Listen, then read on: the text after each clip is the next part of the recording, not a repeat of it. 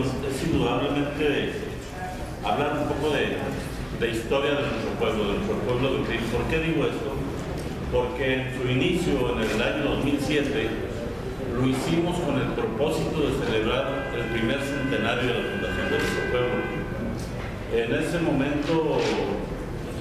hicimos la recreación de lo, que había ocurrido hacía 100 años hasta ese momento con la llegada del entonces gobernador Enrique Krill y repetimos el suceso exitosamente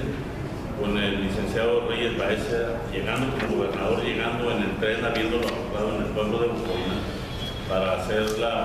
el simulacro perfecto y adornar todo el evento que estábamos organizando para esa fecha.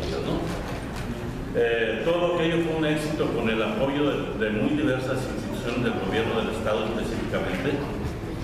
lo cual sigue prevaleciendo hasta ahora. Eh, una vez pasado el evento del 2007, nos hicimos el propósito, un grupo de, personas eh, originarias de Krill, gente de camiseta del pueblo, nos hicimos el propósito de instituir en la medida de lo posible y también de lo imposible mejor eh, este evento como un evento tradicional, que se supiera que además de bellezas naturales en la región y en los alrededores del pueblo, había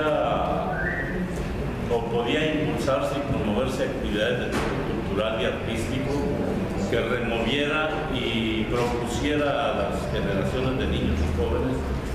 un camino alternativo de realización personal